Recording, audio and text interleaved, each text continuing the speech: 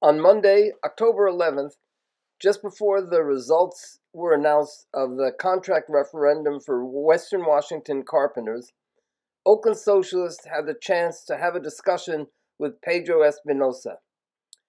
Here is a video of that discussion. Since the discussion lasted close to two hours, this video has been edited for time.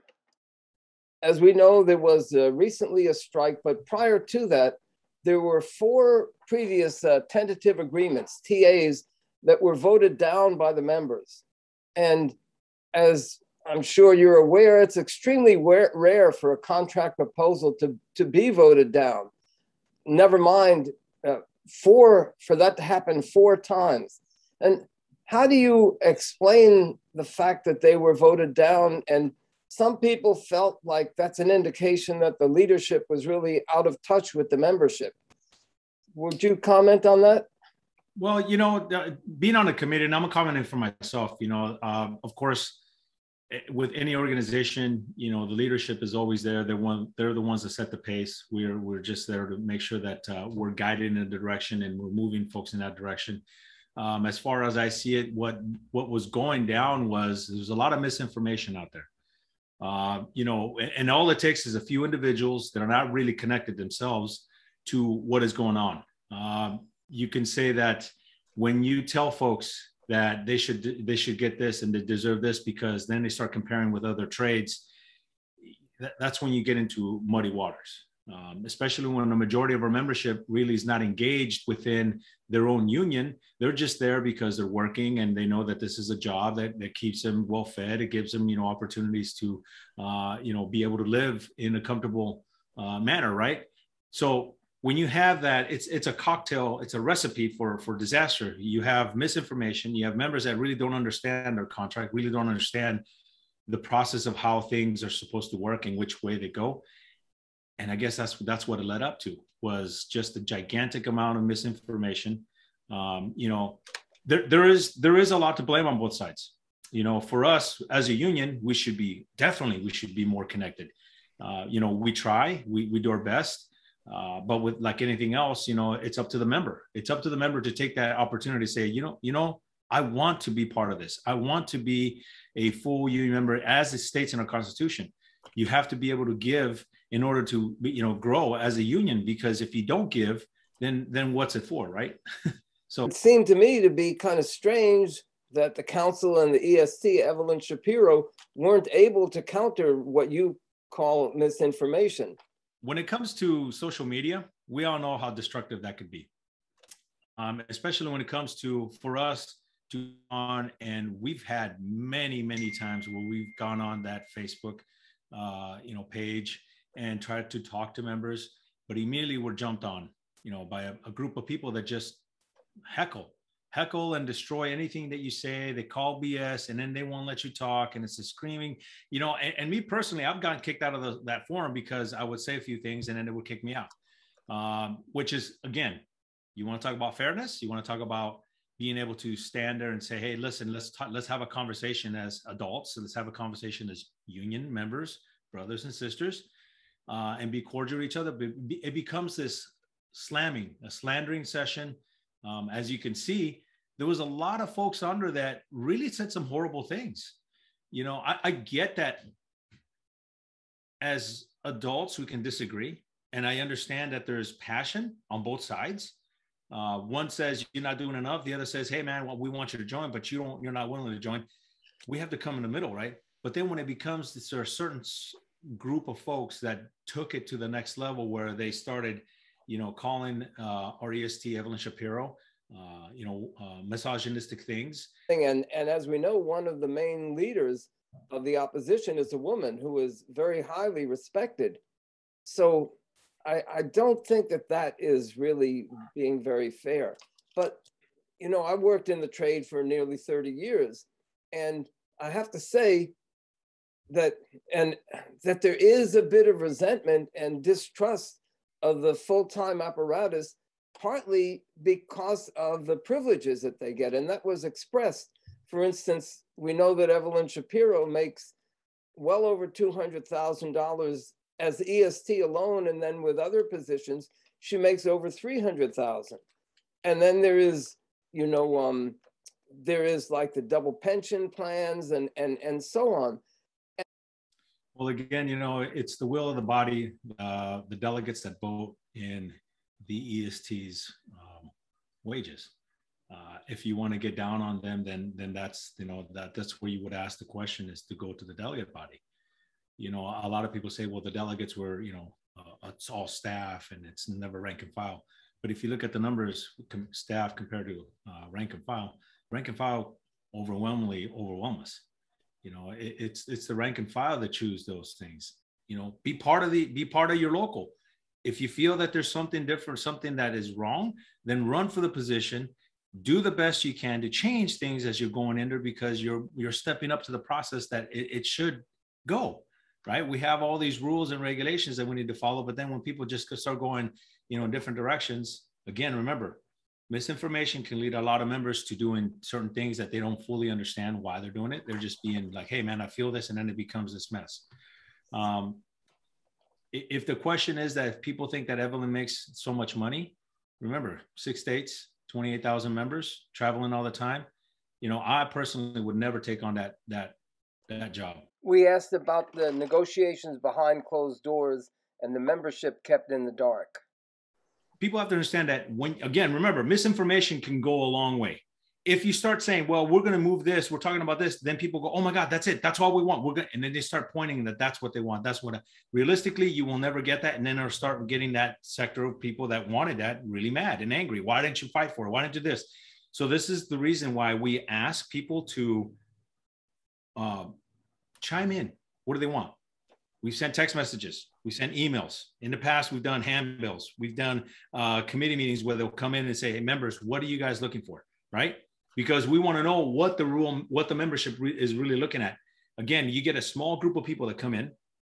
Okay, and and, I've, and I could tell you this. At one point, we out of uh, twelve thousand members that we had in Western Washington that we have in the under AGC agreement, relatively out of the 12,000, about maybe 1,500 members will come in and tell us what they want. If you don't have the strength in the market, which means you don't capture everything you have in there, then what happens to us? Well, There's what really do you no mean? But but what do you mean by market share? Doesn't that mean that you're selling a product and you know you don't have as much of the market for that product as a competitor? Yeah. so who is our competitor? Well, open shop. Well, you have a lot of uh, you so, have a lot of open shop contractors that are underbidding our our contractors. We know the game. You know, they come in and they underbid us, and then they get the the jobs, and then, you know, in the end, we need to do a better job of capturing those markets, whether it's uh, TI work, interior systems, concrete work. You know, you could say, hey, hey man, listen, we have all the concrete share. Cool. And then that's all you focus on, right? But there's other markets in it that we need to expand. Wood framing. I mean, let's face when it. When you say we capture the markets, what you're really saying is that it's the contractors that have to capture that market, right? What do you mean contractors have captured the market? Well, I mean, what what are, what are we? Let's put it differently. What are we selling? Well, we're selling a product that we, you know. Well, what's the product? People we have best skilled people, people that are, are on time that will show up. These are professional folks that come there. Uh, they're willing to work. They're willing. They're committed to do what they need to do to make the contractor prosper. So then their jobs are there for our membership all the time. Uh, when you mean contractors capturing that market, the market's already there. There, so, I mean, the contractors are already there. It's not that they've captured it. It's just that we have to do our job to get more contractors, just like we have to get more members, right? Um, here, here's the thing. So how do we go about getting more contractors? Well, okay, and I'm glad you brought that up. What what was Peter J. McGuire's big big uh, motivation to get people started? Right, it was carpenter to carpenter connection. Right, carpenter to carpenter. It kept going. One brother talks to another brother. It's so on and so forth. You start talking. What we're seeing is that our members are not really organizing because I've heard this, and this is my own uh, personal experiences is that I've had members, multiple members say, that's not my job. That's your job. You know, in the past, you talk about let's get to with the non-union guys and all walk out and leave, right? Well, that would love to see that. That that would be a beautiful day for me to see non-union and union carpenters walking side by side to better their lives. but restrictions, laws, uh, you know, the uh, the NLRA has the ability to block us and put, you know, uh, zip ties on us to hold us down. You know, uh, there's been legislation, laws that have been passed to completely smother unions to where they don't have the strength. You, well, you know the history, right? People used to do the walkouts, right? And then all of a sudden you came the lockouts. And so then there's this back and forth, give and take, give and take. What happened, what what is going on is that there is not a lot of people that really pay attention to the whole scheme of things, right? You talk about being interconnected. We are all interconnected.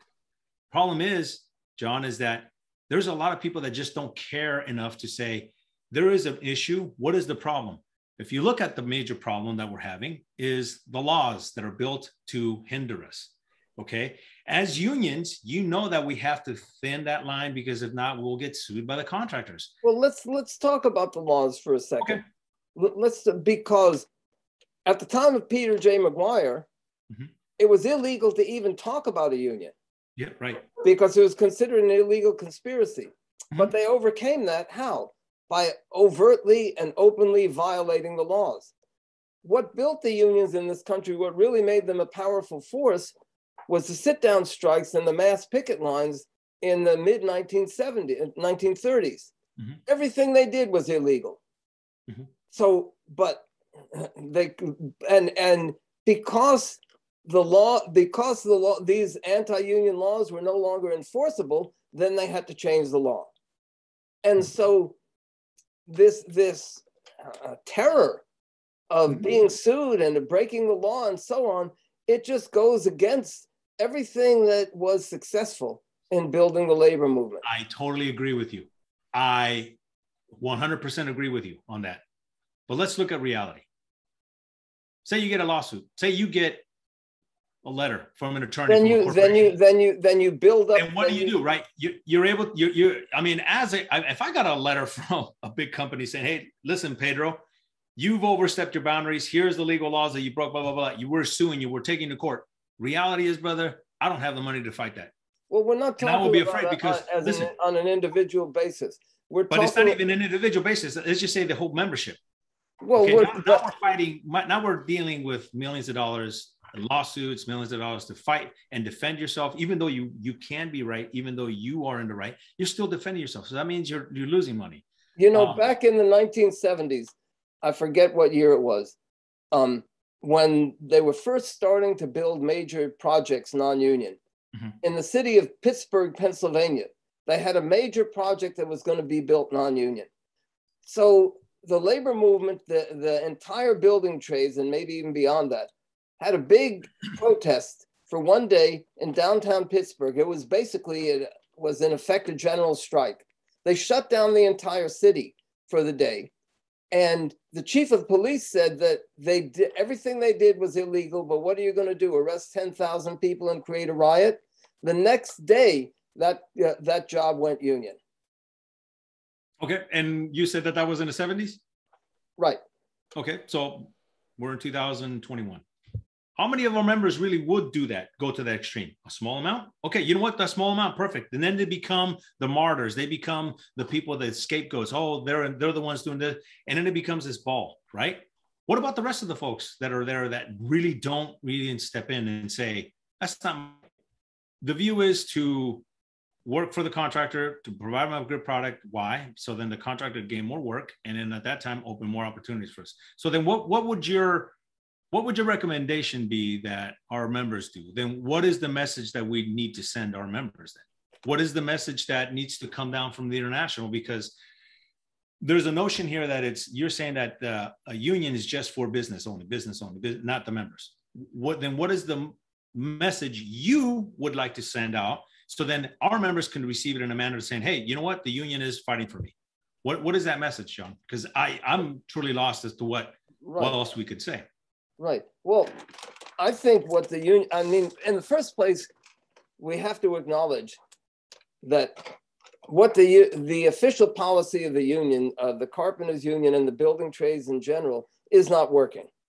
Okay. It's not working. It, I mean, every year you see an increase in non-union construction. This happens in good times and bad. So mm-hmm. and it, when there's full employment, normally you would expect that more work would go union, but that's not happening, even when there's full employment. When the when the next recession comes, and we know it's going to come sometime or another, it's going to get even worse.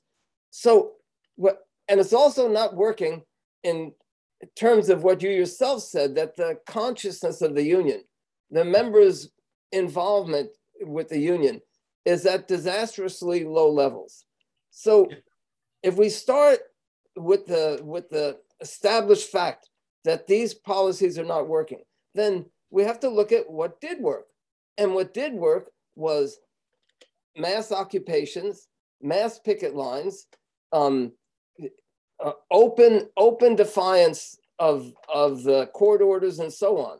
And then we have to figure out well how can we get back to those policies? Well the first thing is we have to openly disavow this idea that the unions and management are collaborators that they're partners they're that they're part of the same team. That's not what unions were built for. And then you you have to have a commitment from the leadership that we are going to get the get top wages that the wages are going to keep up with inflation, which they're not. And in fact, that they and also that the union will link up with all different aspects of the struggle of ordinary working class people. And I mean, you had, for instance, there in Seattle, you had that campaign to tax uh, uh, some of the Amazon and so on to uh, um, in order to provide services for the homeless. And what happened? The ironworkers leadership took the side of Amazon against the homeless. Now, the carpenters union, to my knowledge, didn't take a position on it, but they should have. They should have said, mm-hmm. look, this is the most oppressed sector of workers. So if you started a campaign like that, I do believe that a huge sector of the membership would turn around and say, you know what? This is a union that's fighting for me. I don't want to have to work 40 hours a week plus overtime plus drive anything from two to four hours a day to get to and from work. I want a shorter work week, like what's in our Constitution. And yeah, I want to get involved in that. And I also see that to win that, I have to go out and help organize the non union. And if we have to shut down the entire industry, then so be it. That, that should be the policy of the unions. Uh, you know, throwing peanuts from the gallery is always the best way to do things, right? Um, I, I love your approach, but hey, you know, you're right. More people should get together. Boom. I agree with that. More people should come out. Yes, I agree with that. More people should be, you know, willing to put their put themselves out there to say, "Hey, man, I want to fight for something that I believe in." I agree with that 100%. But reality, John, is that doesn't happen, brother. Well, it doesn't happen. But well, I've talked to a lot of members, John. A lot of members that come in, a lot of members that come in for one thing, and that is what's in it for me every every turn in the discussion, you say, well, the members aren't willing to do this. The members don't care about the union. The members are only thinking about themselves. The members only want to go to work, and so on. And it's a bit like a dysfunctional family where the parents, the, the, the people that are running the family, that is to say, the parents, blame the kids. But they have to look at themselves and what they're doing. And and in, in this case, we know from history and from the present situation that in order to make the changes that are necessary, it's never going to start with a thousand people at once. It starts with small groups of dedicated people. Right. And look at what's happened there in Seattle. You had a small group, relatively small group of very dedicated people who want to see the kinds of changes. And what happens? They get threatened with lawsuits. They get red baited. Uh, uh, uh, claims are made that they're violent. Claims are made that they hate women. All this sort of thing. And every year, every year the non-union increases. And also there's different factors. The By the way, you never let me finish what what some of those factors are too. Okay. Come on, man. Well, whatever cash cash payments are, under the table by non-union guys. I'll, I'll, I'll you, you, you utilizing workers, whether whether they're immigrants, whether they're illegal aliens, call them what you want all these people that are being abused by the system that has continuously takes away from workers. We're all in agreement with that. Okay. The, the system is built to destroy labor. It is so built to have, destroy labor. So but then we have, have, ourselves consuming on each other, telling us that you're wrong and you should be doing this, and then I'm I'm wrong, or I it back and forth. Again, remember, if we collectively come together and work our butts off, all of us together, then we can make a change. So but if, if we're having segments that we can't even agree on what we're fighting for, I mean, it, it really kind of hurts us. I mean, all the way around, John. Well, of course, the contractors are going to resist it. Every well, yeah, I know that. Yeah. So if you have a policy, if you have a policy that is not working under these present circumstances, then you have to change your policy. The policy that you're presenting of working in collaboration with the unionized contractors has been a disaster. And sure, it, uh, that that's like you, you, know, it's like going out in the rain with a uh, with an umbrella full of holes, and you get wet, and you say, "Well, the problem is that it's raining." No, the problem is that the umbrella that you have isn't working. So, what do we do as a union? Then tell our contractors that are signatory with us to say, "Hey, listen, man, you guys had to help us, right?" Because that's a partnership, quote unquote that's what we are. We're partners in this whole game. There's a lot of truths out there that are hidden by lies. And if people want to do that, then that's fine. You do that and you'll see where this thing leads you of misinformation, twisting words to benefit where you're at.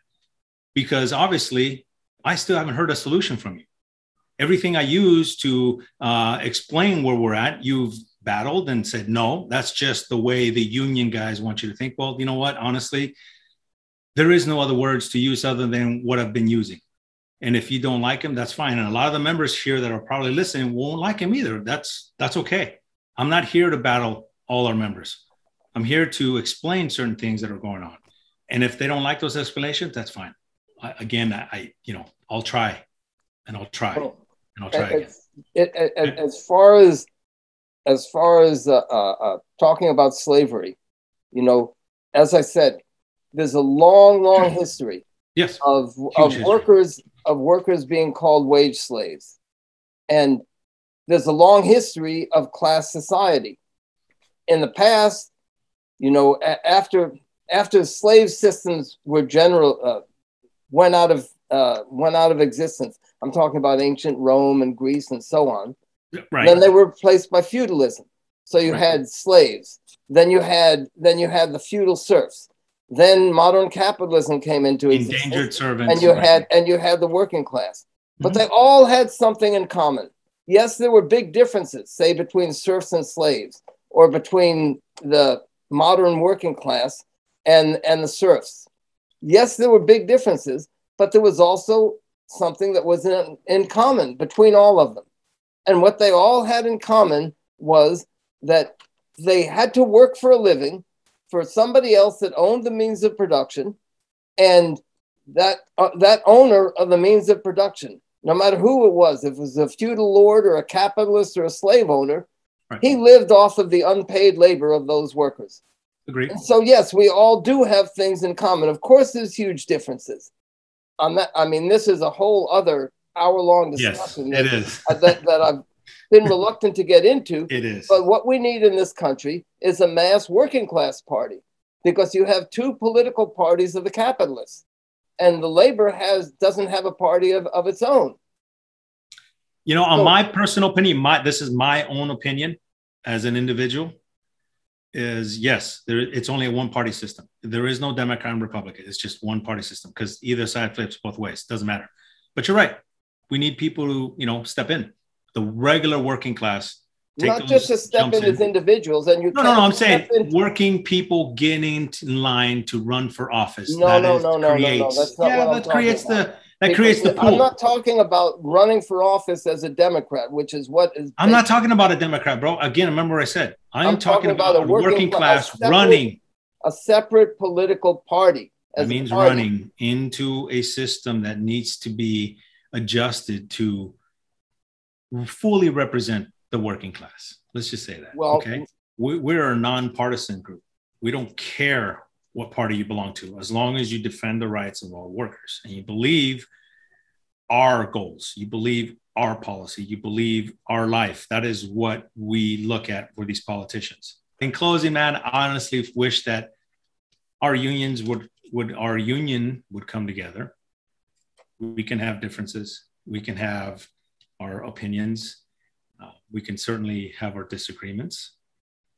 But when we take it out and start airing out all, all disagreements to the entire world where it doesn't benefit us because it makes us look like we're so dysfunctional and destructive inside, then what message are we sending the rest of the people? Um, me personally, again, I've said that I, it doesn't matter if people uh, stand on different sides. If it comes to a union issue, hey, more than happy to help you out.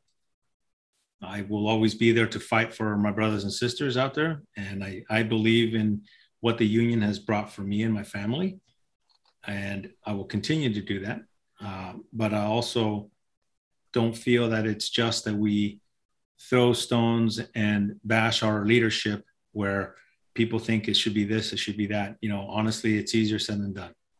Uh, I would state that I would never ever like to be in those positions because they're hard and sometimes you'll, when you make a decision, people don't like it. And then you'll have these situations where people will be casting them. So, uh, again, I would state I wish and be hopeful that we can come together as a union, become stronger from these points to learn from each other, because that's all we got. We got each other, and the only thing we got to do is learn and keep learning. Okay. Well, first of all, I want to thank you, Pedro, for coming online and, and discussing with me. And I, I'm assuming that you knew before before you agreed to this discussion that we had some big differences. Yes. Um, and differences within the working class movement are inevitable. And it's actually a positive and a healthy thing. And there's no way, because we're not a tiny little uh, group of people, or relatively tiny, like the capitalists are. There's no way that we as workers can uh, discuss these differences in an open and democratic way that we can do it behind closed doors. And in fact, it's entirely healthy to have these uh, uh dis- uh, discussions out in the open. Um, as far as personal attacks and bashing people, I have to say, and I'm not talking about you here, Pedro, but I have to say that most of the personal attacks and most of the bashing of people have been one way. The red baiting, the claims that the McGuire group and so on are misogynists and hate women, which is completely false. Um, the claims that they've threatened violence, all these things. So most of those attacks, the personal attacks, have not come from those who uh, oppose the position of the of the council and the union leadership. Um, and the terminology that we use is not accidental. The fact the the fact that the union leadership talks about market share, the fact that it talks about that we're uh, collaborating or that we're partners or uh, with the employers or we're on the same team with the employers. They can stop using using those terms, but the reason that they stopped using those terms is that it's too revealing of what they're actually all about. And what they're actually all about is to be on the same to uh, try to be on the same team with the unionized contractors in order to entice the non-union contractors to sign a union contract because that will uh, uh, help uh, boost their profits. And behind that is the idea that, as far as market share, that our real competition is the non-union carpenters, and that uh, uh, rather than joining with the non-union carpenters to raise the wages to ha- to engage in an open pitched battle with the contractors, union and non-union alike. That's a book that's sealed with a thousand seals to our entire union leadership. And what has been said about uh, uh, about the consciousness of the carpenters, as I say, I've seen it ever since I joined the union in 1970. That everything has been done to make carpet to encourage carpenters to think of themselves as individuals rather than as part of a collective, and to discourage those who would uh, uh, who tried to maintain the traditions of the of the labor movement when it was most powerful and successful. And to the extent that people that individualism does exist as a mass uh, form of thinking amongst uh, not just carpenters but amongst union members and all and all workers that the union leadership has to take some of the blame for themselves. And that will not change will not be easy but it will and most times it will start with a small minority. And yes they will be repressed and face all kinds of consequences but you know that's the history of our class